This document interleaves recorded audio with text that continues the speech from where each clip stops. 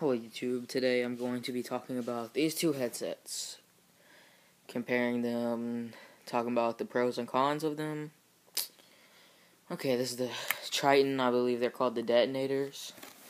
Which is right there, I believe. Then we got the Turtle Beach X32s. They're completely wireless except for the chat cable, of course. Here's the box for that.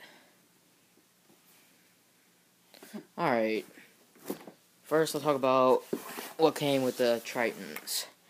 The Trittons came with the mic, came with the chat cable, right here, which this is my favorite part about it because it's one of the ones that plugs into the controller like so, like this.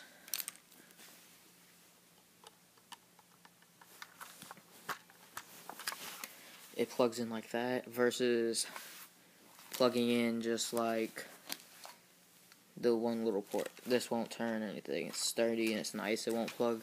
Come unplugged if you drop your controller or anything. Alright, so other things that came with the Trittons, it came with this, which is if you use HDMI, you can plug this into the back of your, back of your Xbox and plug the left and right audio cables into it, which is pretty nice because most headsets don't come with that for 70 bucks is a pretty good deal. Alright, moving on to the Turtle Beaches. These came with the receiver, which is plugged in. I didn't feel like unplugging it. And the chat cable, which was, isn't a very complex chat cable. I don't really like it. It's okay. Have your game volume and then your mute. I mean your game chat and then your mute. Came with a it's wireless, therefore it takes triple A's. I have rechargeables. Has a bunch of little buttons for different presets and stuff. The game volume. Effects. Then the thing where the chat cable plugs into. And the tone. Okay, so my least, here's my favorite thing about the Trittons they're so super comfy. Like they're this is the comfiest headset, headset I've ever worn. Like straight up, and because this is like this rubber stuff, it's just like really comfy. They fit perfect. Like they hug your head so they will not fall off. They look so nice. They're huge. Like you can adjust. Like if you have a big head, small head, they'll fit you. That's one of my favorite things about them. Um, another cool thing the mic comes unplugged. So if you're just one of those people that don't like to talk, go ahead and unplug your mic.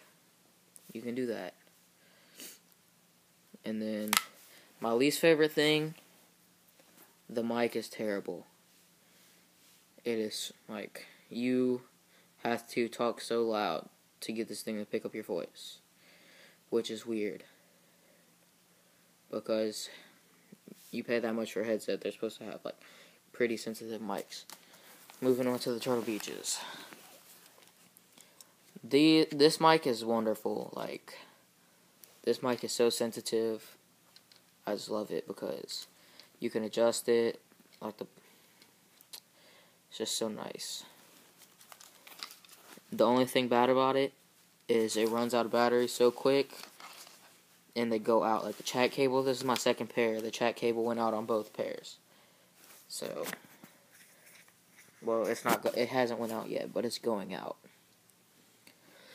Um, they're really comfy also, but the downside is the the biggest you can make them is like fits my head, and it barely fits my head. I have a. I don't even have a big head. Is a bad thing. I don't even know. Like, I can't. Like, if you have a big head, don't buy these. It's terrible buy these. These are wonderful.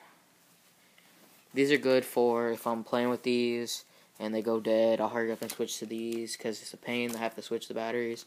It's better to just hurry up and plug in this chat cable. It's just, it's easier. So overall, if you're looking for something to just sound whore with and play long sessions and not talk, I'd go with these. Nice little ear cups. And then if you like to talk, if you're one of the people that talk a lot and everybody mutes you, go ahead and get these.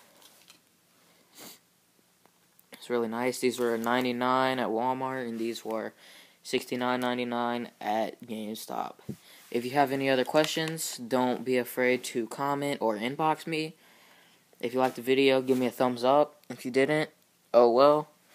This is KryVoltage and I'm out.